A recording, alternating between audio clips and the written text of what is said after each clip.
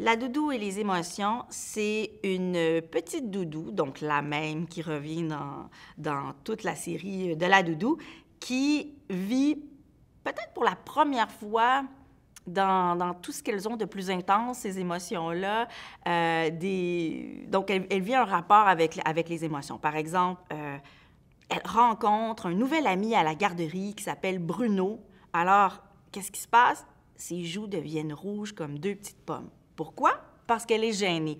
Donc, on associe dans ce livre-là, La doudou et les émotions, un événement particulier. Il y a l'émotion qui vient avec et c'est expliqué. Expliqué est un bien grand mot, disons, euh, c'est démontré dans, dans ce livre-là avec ces mots qui sont assez brefs et courts, en tout cas très, très accessibles, qui font sourire.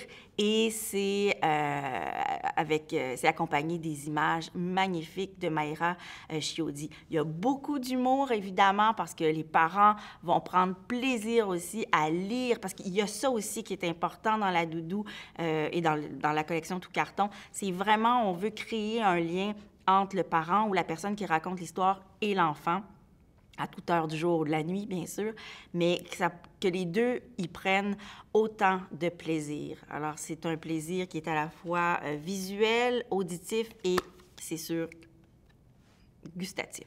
J'en suis certaine. Il goûte bon, d'ailleurs. Il sent bon.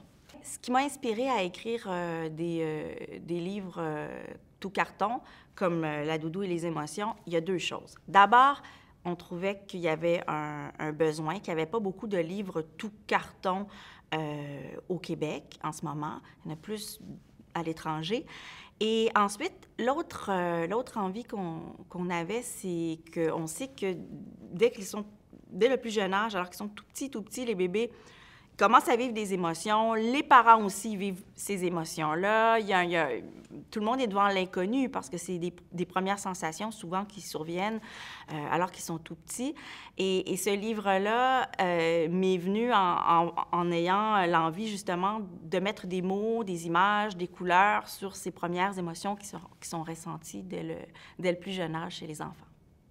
L'idée d'écrire euh, la doudou et les émotions, donc dans la collection Tout Carton, c'est venu vraiment en collaboration euh, avec mon, mon, éditeur Martin Balthazar à la Bagnole, qui disait il y a, il y a vraiment une demande pour les, les, bébés, les poupons.